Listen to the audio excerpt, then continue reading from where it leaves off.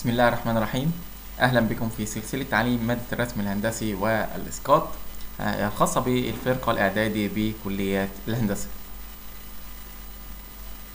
إن شاء الله النهاردة هنبدأ نشتغل في السكشن رقم 15 ونكمل موضوع استنتاج المسقط الثالث آه، زي ما كنا قلنا المرة اللي فاتت آه، ما ينفعش تبدأ تخش على استنتاج المسقط الثالث من غير اما تكون بتعرف تجيب المساقط الثلاثة من المنظور وتكون فاهم العمليات أو المواضيع دي.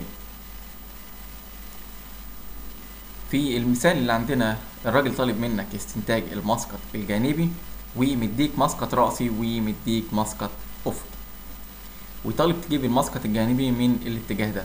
يعني تبدأ تبص في الاتجاه ده ونرسم المسقط الجانبي هنا. كنا بنقول أول حاجة نبدأ نعملها في استنتاج المسقط أو استنتاج المساقط أو المسقط الثالث إيه، بنشوف الأبعاد بتاع الشكل بتاعنا. الطول عندك هنا عبارة عن تسعين والارتفاع بتاعها عبارة عن كام؟ عبارة عن العشرة زائد الخمسة وعشرين. يبقى خمسة وتلاتين ده ارتفاع بتاع المسقط الرأسي طب المسقط الأفقي زي ما إحنا شايفين هيبقى نفس الطول بتاعه تسعين والعرض بتاعه هيكون عبارة عن أربعين. يبقى تلقائي آه، تلقائي عندك هنا المسقط الجانبي.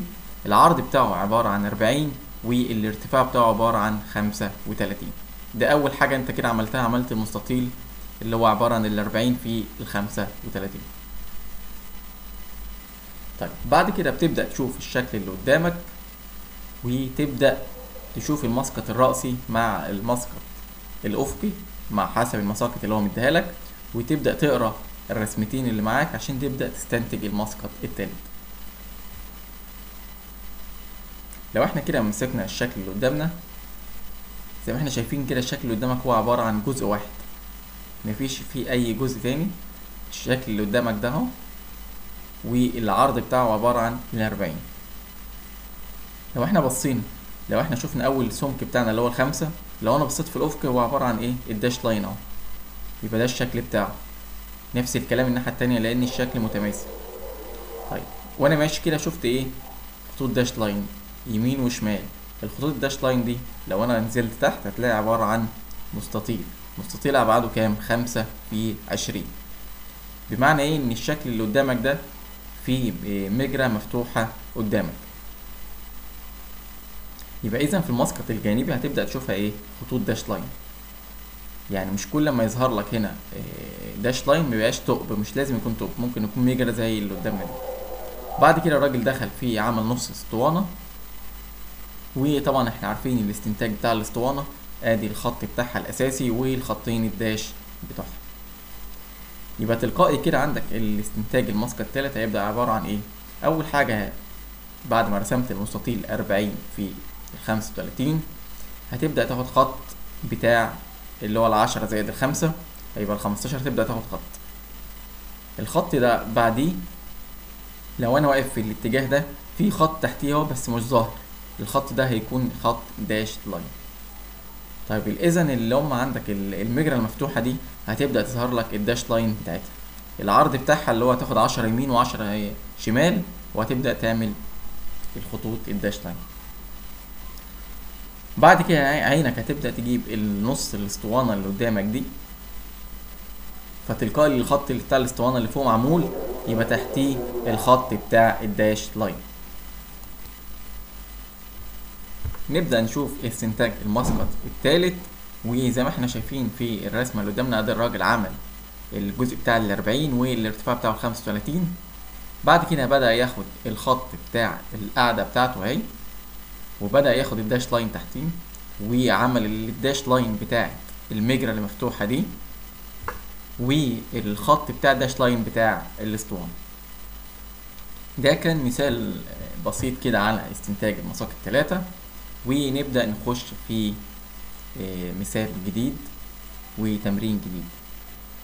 في الشكل اللي قدامك هنا الراجل طالب منك استنتاج المسقط الثالث وزي ما إحنا قلنا أول حاجة بنبدأ ن- نقرأ الرسمة بتاعتنا عشان نبدأ نستنتج المسقط لو إحنا شفنا الابعاد بتاع الرسمة اللي قدامنا الراجل مديك المسقط الرأسي طوله 150 والارتفاع بتاعه 50 العرض بتاعه عبارة عن الخمسة وسبعين وال والجانبي هنا هيكون عبارة عن كام؟ خمسة وسبعين في الارتفاع بتاعه عبارة عن خمسين طيب نبدأ نشوف الشكل بتاعنا ونبدأ نقسم الشكل بتاعنا لمجموعة من العناصر عشان نبدأ نفهم الرسم. لو إحنا شفنا الخمسين في الارتفاع بتاع ال 12 ده عبارة عن القاعدة بتاعة الشكل بتاعنا. طب ال 50 والسمك بتاعها 12 عرضها تحت لو أنا بصيت كده تحت في مسقط الافق اللي هو عبارة عن كام؟ ال 75 يعني ده عبارة عن مستطيل 150 في ال 75 دي أول حاجة القاعدة. تلقائي لما أنا أبص في الجانبي هبدأ أشوف مين؟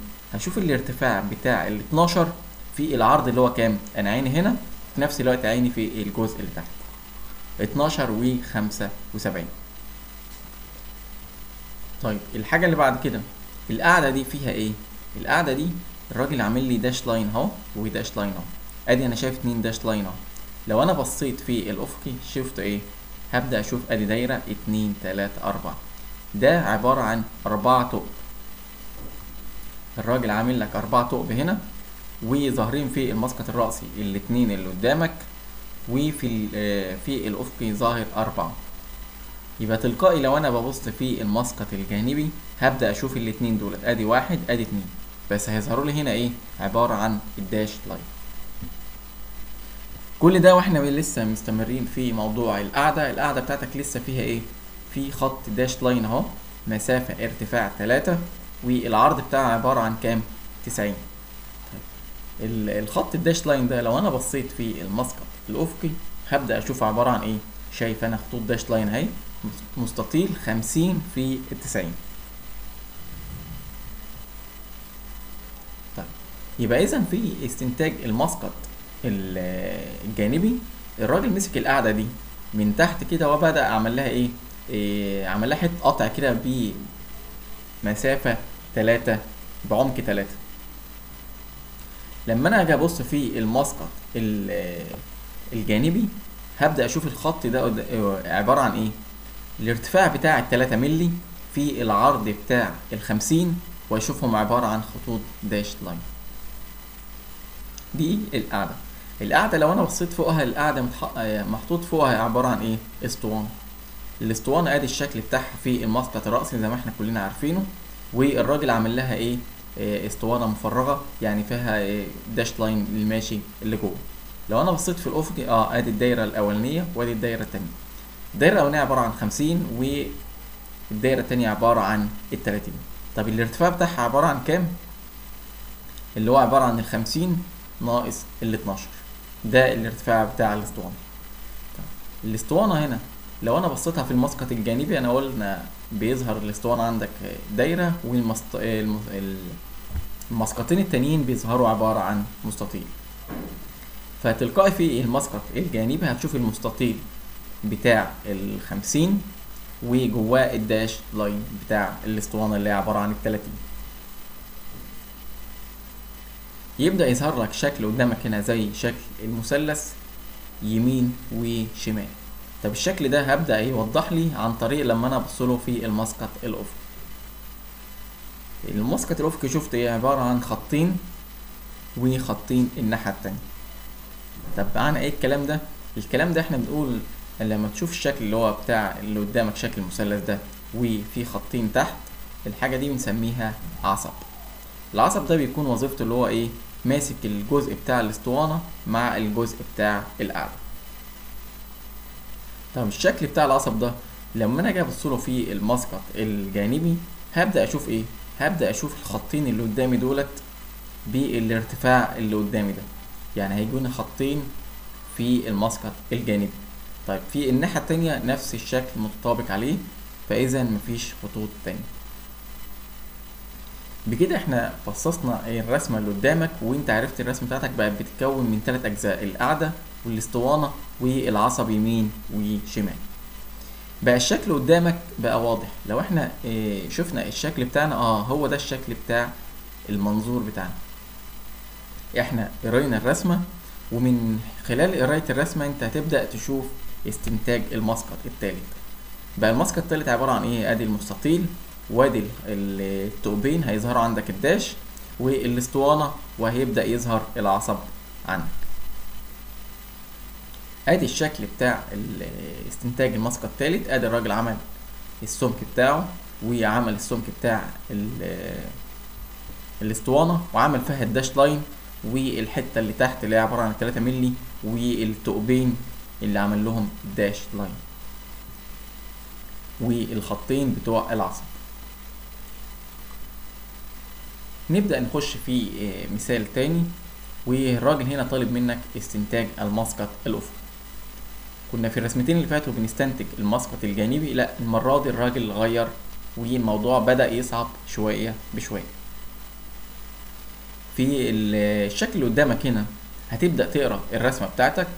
أول حاجة هتبدأ تحدد ال- ال- الطول بتاع ال- الأبعاد بتاعة المسقط الأفقي. المسقط الأفقي اللي إحنا بصينا كده بعينيك كده مرة واحدة هتبدأ تعرف اللي عبارة عن كام. الطول بتاعه 100 والعرض بتاعه هيكون عبارة عن كام؟ اللي هو الستين. طيب الشكل بتاعنا ده عبارة عن إيه؟ أو أنا هبدأ أفهمه إزاي وما اخافش من آه، موضوع استنتاج المسقط الثالث في أي رسمة تقابلني لو إحنا بدأنا نمسك الشكل اللي قدامك أدي الشكل اللي قدامك هتلاقي عبارة عن قاعدة تحت أهي. القاعدة دي لو إحنا شفنا شكلها أهي. فين؟ في الجانبي. آه القاعدة بتاعتي عبارة عن إيه؟ اللي هو الطول بتاعها المية والعرض بتاعها اللي هو عبارة عن الستين الارتفاع بتاعها من المسافة من هنا لغاية هنا اللي هو الخمسة وعشرين ومشيت مع الجنبي يعني ده الارتفاع بتاع القاعدة بس هنا عندي خط مايل الخط المايل ده من لغاية النقطة دي في لغاية النقطة بتاعت الخمستاشر يعني الراجل طلع خمستاشر وبعدين أخد ميل معين في الاتجاه اليمين والاتجاه الشمال. طيب الخط الميل ده بدأ عنده هنا أدي خط وأدي الخط التاني. الخط التاني ما خدوش لغاية الآخر لا ده واقف لغاية نقطة معينة وبدأ يطلع لفوق. طيب الخط اللي طلع فوق ده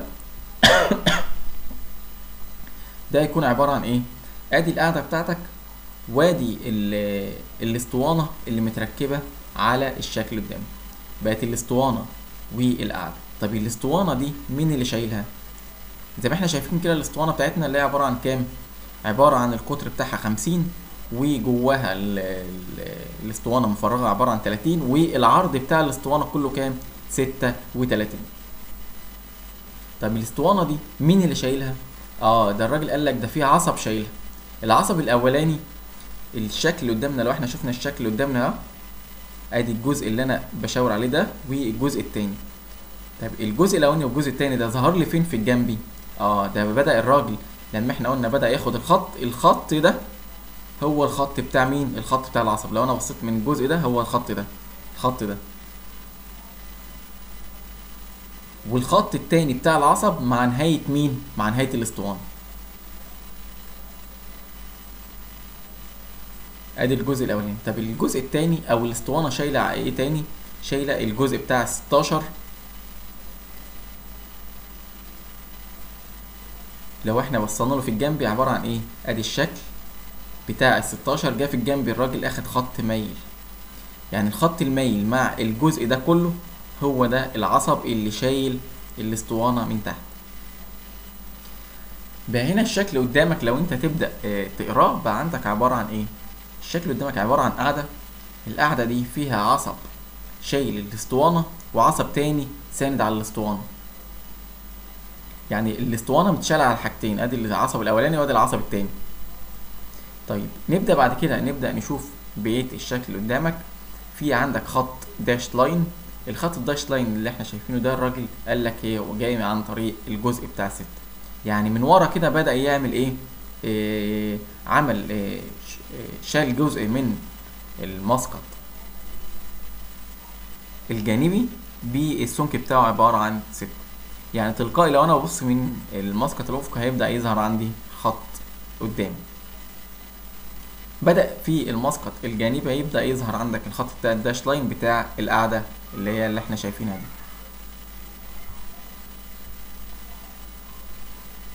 زي ما إحنا شايفين ادي شكل المنظور بتاع المساقط اللي قدامنا في المسقط الرأسي والمسقط الجانبي.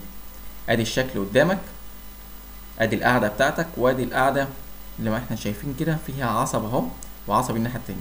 متشال على الاسطوانة شايلة الاسطوانة. والاسطوانة فيه عصب تحت ساندها بالشكل اللي إحنا شايفينه ده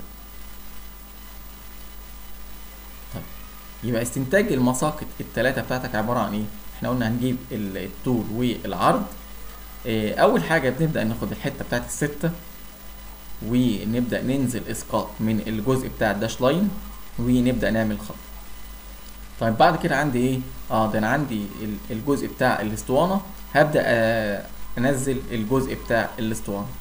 ادي الاسطوانة بتاعي أنا عارف عرضها وعارف ال ال هتنزل مسافة لغاية قد إيه. زي ما إحنا كنا شايفين هنا في ال- القيمة بتاعتها اللي هي ستة وتلاتين من بعد الستة. طيب عنده هنا هيبدأ يظهر عنده إيه؟ هيبدأ يظهر عنده العصب في الاتجاه اليمين والاتجاه الشمال. ادي الشكل بتاعه. شايفين إحنا الكسرة دي؟ ادي الخط بتاعي الاساسي الكسرة الأولانية دي هيبدأ يجيب الخط الأولاني ده. الخط الأولاني ده لو أنا بصيت كده على شكل منظور أه أدي الخط الأولاني. شايفين الخط ده؟ مع الخط ده. أهو. لو أنا مشيت وهيخبط لغاية ما يخبط في الشكل بتاع الاسطوانه نفس الكلام أطبقه الناحية التانية. وأنا ببص من فوق هبدأ أشوف مين؟ بقية العصب طالع لبره. لو أنا واقف فوق هنا شايف بقية العصب ظاهر عندي. هيبدأ يظهر عندي إيه؟ شكل مستطيل. طيب. الكلام ده عملنا جميع الخطوط الرئيسيه اللي قدامنا. تبدأ تشوف الخطوط ال dash line. أدي خطوط ال dash line. أول واحد بتاعك مين؟ بتاع الاسطوانه أدي عملته أدي الخطوط بتاع ال dash line. الخط التاني عندي مين؟ أدي الخط بتاع القاعدة. من أول للآخر. أدي من أول للآخر. أبدأ أعمل خط أهو. طيب بعد كده مش العصب اللي تحت الاسطوانه ده هو مكمل تحت الجزء اللي تحت عند الاسطوانه يبقى اذا أنا ظهرت الجزء الأولاني وابدأ أظهر ال- بقية اللي دخل الجزء اللي دخل. يعني هبدأ أعمل dash line أهو. dash line ويبدأ يقاطع الخط اللي جاي من ده والخط التاني.